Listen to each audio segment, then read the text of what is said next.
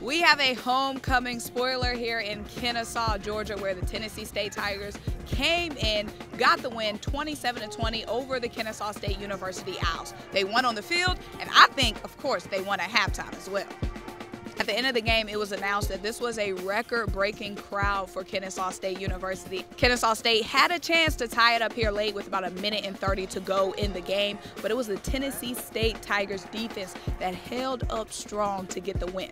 Overall, what are you most impressed by from the team today? Oh, just their grit. You know, the way we responded after last week. Um, I challenged them to play a complete game and to play uh, complementary football. And uh, we did that in all four phases. That's offense, they made plays, got points on the board. Defense did a great job. Uh, special teams, we gave up big time run, um, return on at the end of the game. But in the coaching, um, you know, we focus on that and the situations that we put ourselves in uh, with two minute and four minute situations. That's that's what we pride ourselves in being uh, masters at, and it's starting to come to fruition for us in um, games like this.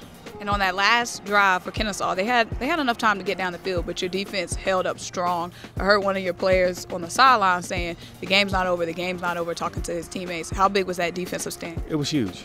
Um, you know, our defense is pretty good. Um, I like to think.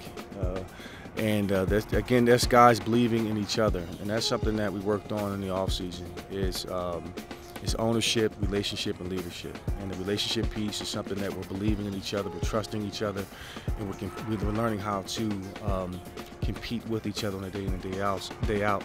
The Tigers are back above 500 with this win, sitting them at three and two with Norfolk State coming up next for them. I am Simone Stanley. This is HBCU Game Day, signing out from Kennesaw, Georgia, which is not Atlanta,